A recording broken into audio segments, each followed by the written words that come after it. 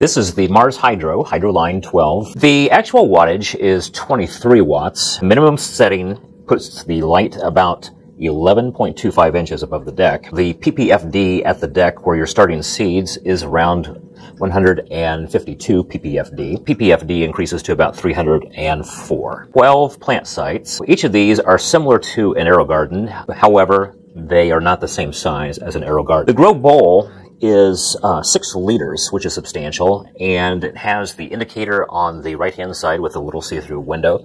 They do suggest that you set it on level five, five liters for seed starting. The window is a little dark. It has front-facing controls, power, time, vegetative, or flowering. The vegetative light has a little bit more wattage than what the warmer flower and fruiting light choice has. The grow bowl itself has an internal pump that has two uh, different outlets that come from the pump to help to circulate the water around inside. It does not have an air pump. They did not supply any hydroponic nutrient. Crops tested were radishes, lettuce, and micro dwarf tomatoes. This particular tomato plant, it's growing, but it's not growing as well as perhaps I had hoped. If the plant were to grow a little bit higher, it would get into a more typical uh, growth state. But getting from the deck to that area with a smaller micro dwarf style uh, tomato plant is going to be a slow start. The light was not sufficient enough to grow radishes. However, lettuce plants that I started in a different unit and moved into the Mars Hydro unit when they were about five inches in height did